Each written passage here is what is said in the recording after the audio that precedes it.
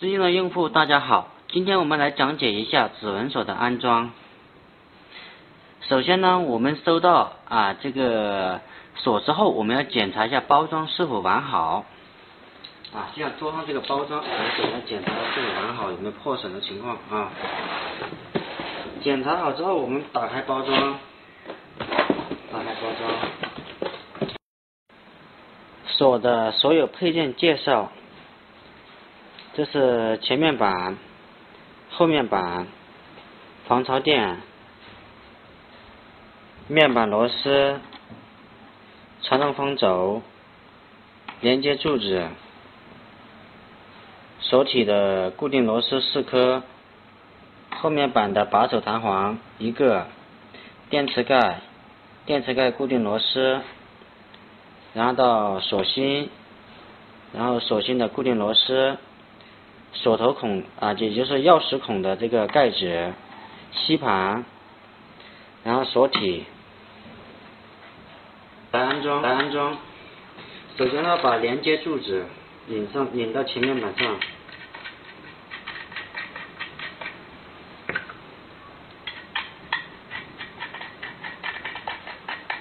啊，拧好了。我们把防潮垫装上。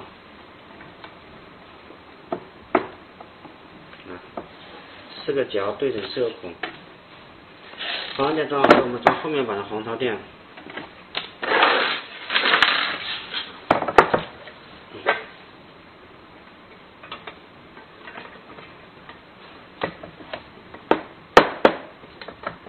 好，防潮垫装好了，我们先把面板放到一边，要轻轻的放啊，不要把弄花了，把配件放好。我们现在开始安装。现在把锁体放到门的中央，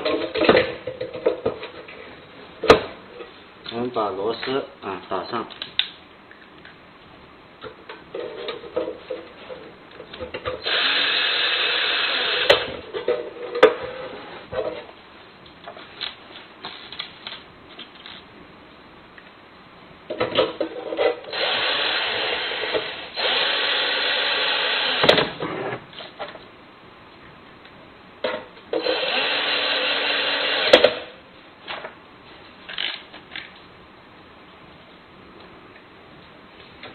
这时候电梯的力度不要调太大啊，一般我们是用手工螺丝刀来拧的话比较好一些啊。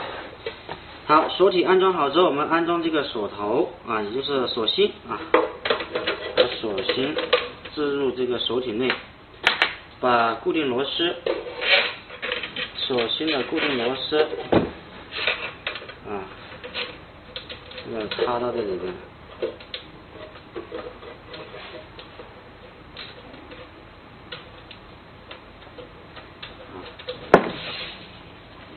拧上，拧上之后，我们用钥匙检查我们所安装的锁芯是不是好安装好了，是吧？先用锁芯反锁，门反门开，OK，是吧？我们锁芯安装好之后就安装面板，面板的话先安装前面板。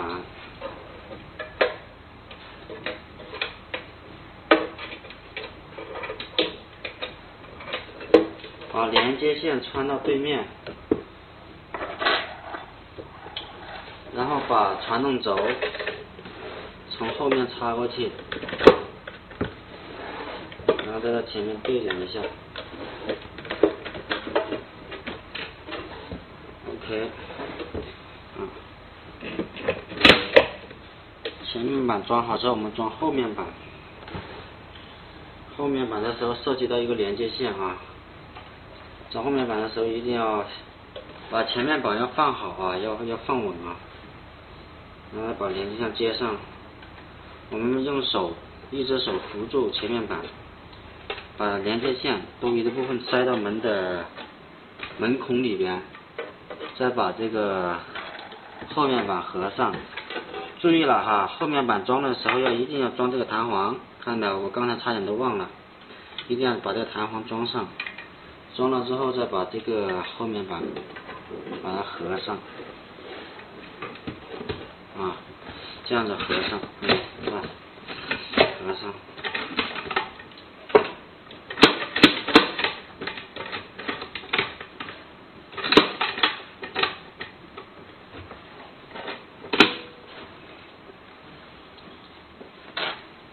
然后把螺丝拧上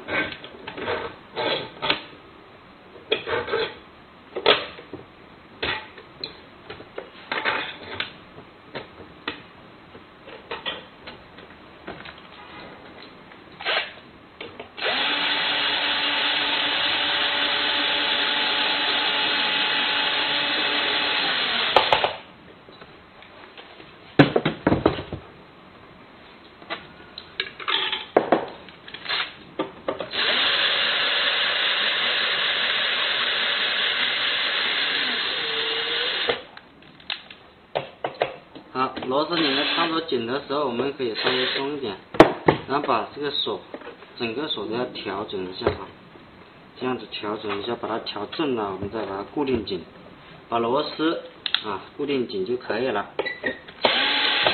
锁调正之后，把螺丝锁紧，是吧？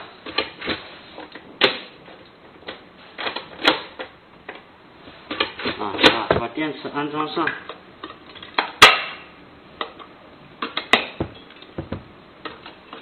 先安装两边的，然后再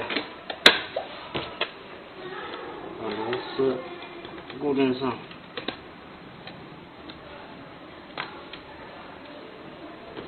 这个是不锈钢螺丝啊，大家在装的时候一定要注意，不要掉了啊。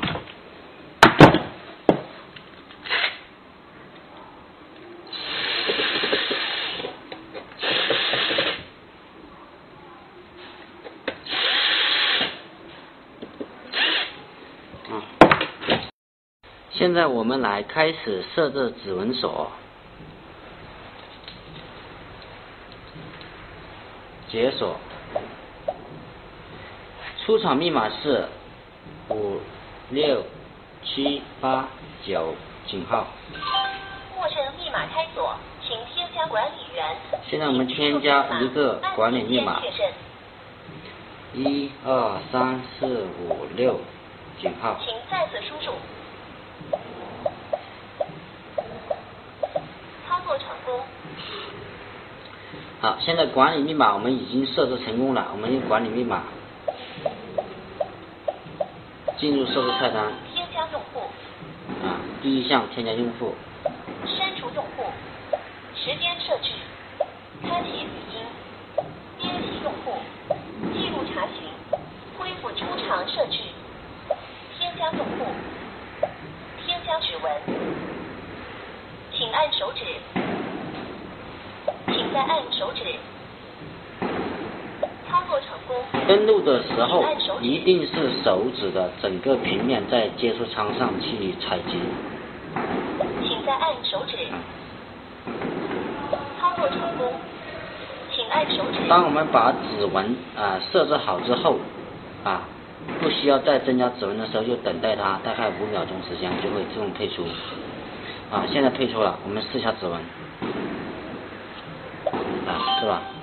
大概零点五秒左右就可以开锁，上贴反锁，啊，就这样就设置好了。